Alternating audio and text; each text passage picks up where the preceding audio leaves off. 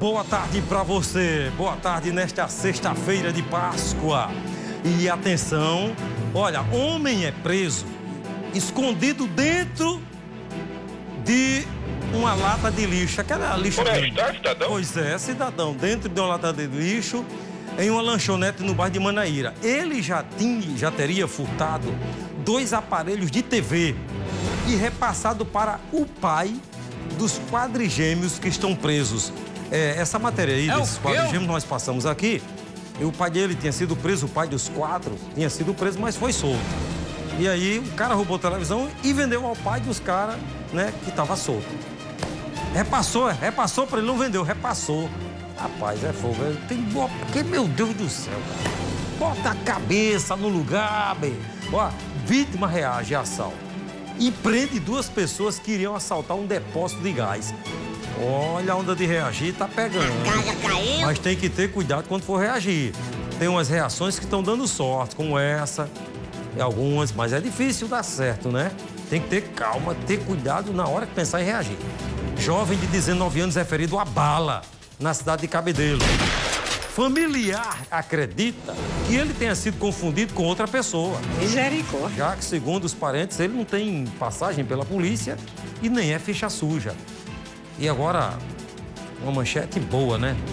Boa. Fiéis participam da procissão da Via Sacra aqui na capital e em Campina Grande.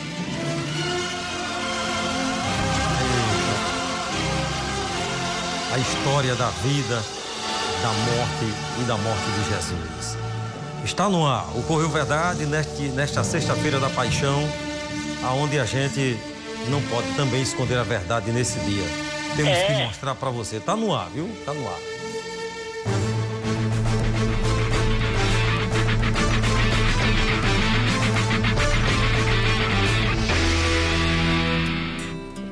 Muito obrigado, minha gente. Coloca aí, Roger. Eu de ontem para hoje, eu assistindo vários programas de televisão, que eu fico procurando um ali, outro acolá, tal. Aí algumas, alguns programas de outros estados eu também vou lá e assisto. Em todas elas, ontem à noite, estava passando só, veja só, a roubalheira, a propina que os políticos pegaram. E eu estava analisando, inclusive teve um, um delator que ele disse assim: olhe, eu não estava aguentando mais. Um empresário, um da, Aldebrecht, ele disse assim: olha, eu cheguei e chamei, eu não quero nem estar citando o nome aqui para ninguém dizer que eu tô com politicalha. Não vou citar o nome de ninguém, tá certo? Aí ele disse: eu chamei fulano de tal, eu disse fulano, o grupo tá tá com a goela muito aberta. A goela de jacaré tá passando para a goela de crocodilo. Estão, estão pedindo demais. Ele quis dizer que o grupo político estava extorquindo, sugando demais. E esse sugar demais, quem paga somos nós. E eu tive pensando, bicho, não é possível. Como é que o ser humano, o cara que tem uma vida boa, o político já tem um salário bom. Não venha me dizer que político tem salário baixo. O salário de todos os políticos são salários altíssimos. Ele tem muitas vantagens além do vencimento. É diferente do trabalhador. O trabalhador com um salário mínimo é só aquilo mesmo. O trabalhador não tem auxílio passagem, não tem auxílio aluguel, que é o auxílio moradia. O trabalhador não tem auxílio cueca, auxílio calção, auxílio gravata. Não tem auxílio de nada. Ele trabalha e ganha um saláriozinho dele. No- quando ele pega o contra-cheque, ao invés de auxílio, ele olha lá, só tem desconto. Diga que é mentira minha. Só tem desconto. Desconto disso, desconto daquilo. No contra-cheque dos políticos não tem desconto, não. Tem auxílio tal, auxílio tal. Aí quando soma o salário gordo. Aí eu, olha o que eu estava refletindo ontem. Essa paixão de Cristo. Será que esses caras, esses políticos estão em casa, na paixão de Cristo, eles, eles param para refletir que a ganância é do Satanás? Você lutar para conseguir melhorar a sua vida é de Deus. Deus quer que todos nós lutemos para melhorar de vida. Agora, a ganância é do diabo. Você tem e a ganância é que você quer mais a todo custo. Você tendo, se você tem X e você quer 2X, você tem que lutar pelos 2x. É natural. Deus se agrada disso. Mas tem que ser de forma correta. Agora, você tem X e quer 2x a todo custo, na ganância, pisando, passando por cima de todo mundo, quebrando esse país. E aí eu estava refletindo, será que essa classe política tem, não, não dói na consciência deles não? Eles não fazem uma reflexão. Porque Deus não se agrada disso não, minha gente. Só é o que a gente vê. Se você liga a televisão, é o cara dizendo, olha, ele pediu 15 milhões, 200 milhões.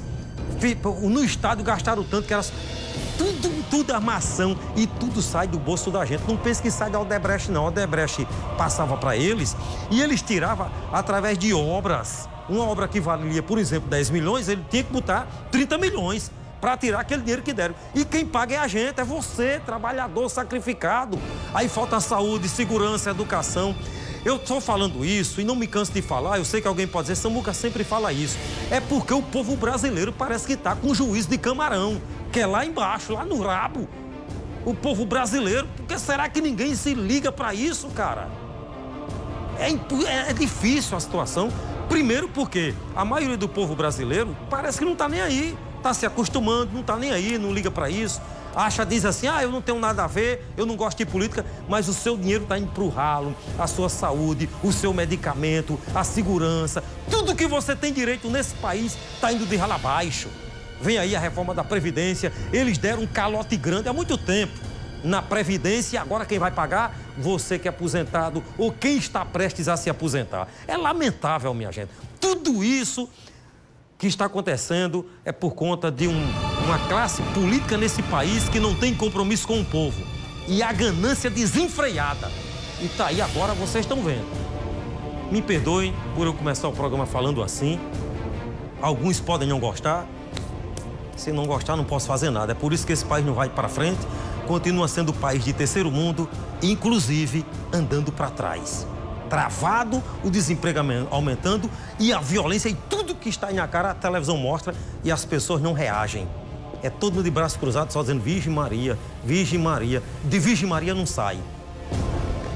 Me desculpe eu abrir o programa dessa forma, mas eu tinha que dar esse desabafo porque eu fiquei horrorizado ontem à noite assistindo os telejornais. Só se fala em roubo nesse país e quem mais rouba é a classe política. Eu acho que era para abrir o presídio do Roger, do PB1. Solta todo mundo, porque esses caras que estão aqui no PB1 e no Rocha roubaram muito menos do que a classe política que está lá em cima. E para terminar, pura. e para terminar, era para abrir também um presídio feminino, aquelas femininas, as presas. Cadê a Defensoria Pública? Cadê a Defensoria Pública? Porque não defende as presas no presídio Júlia Maranhão, que tem filhos com 3, 4, 5 anos em casa e precisa da mãe. Agora a mulher de Sérgio Cabral tá em casa. Como tem dinheiro do poderio, a ladra rica, porque a ladra, o ladrão rico nesse país tem direito a muita coisa. A ladra rica, a mulher de Sérgio Cabral, que quebrou o Rio de Janeiro, aí teve direito à prisão domiciliar, porque tem dois filhos é menores. Dois filhos menores. Então a do Júlio Maranhão também tem que soltar. Eu te amo. Tem que soltar. Eu comecei hoje revoltado. É na paixão de Cristo e eu tô certo, tá revoltado, porque Jesus Cristo também se revoltou com a safadeza. É. Quando Jesus chegou na igreja, ele entrou e tava um bocado de gente jogando dentro da igreja, jogando baralho, jogando dominó dentro da igreja, bagunçando na igreja. Jesus, Jesus entrou e disse: Que negócio é esse aqui? Ele enrolou as cordas na mão e disse: Espera aí, tome. Ele disse: Aqui é casa de mãe Joana, não, aqui é casa de Deus. O cara vendendo galinha dentro da igreja. Tava um bordel na igreja. Jesus Cristo pegou as cordas, enrolou o nome e disse: Que negócio é esse aqui? Tome, tome, tome. E os caras correram, só ficaram os bancos. Então eu tô certo em me revoltar.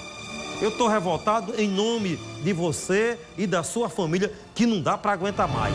Tanta safadeza nesse país. Eu queria que pelo menos hoje, sexta-feira, que é, comemora a morte de Jesus Cristo, que a nossa classe política parasse e pensasse. Eu já tenho, já basta. Vamos parar com essa ganância. Vamos fazer pelo povo. Me perdoe, minha gente, eu ter começado assim. Mas eu sei tá que a maioria gostou. Só quem não gostou é quem é político e está me assistindo em casa deve estar tá com raiva de mim. Mas o povo está gostando. É.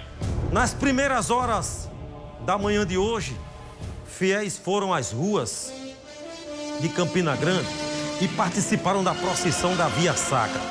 Eles percorreram as 14 estações que representam os últimos passos de Jesus Cristo. até o Calvário. Dani Pimentel. Dani Pimentel conta agora direto de Campina Grande pra gente. Vai.